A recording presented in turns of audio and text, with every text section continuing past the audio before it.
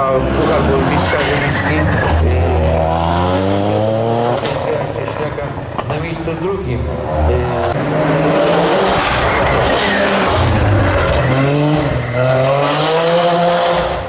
silnikami w klasie pierwszej bezkonkurencyjny.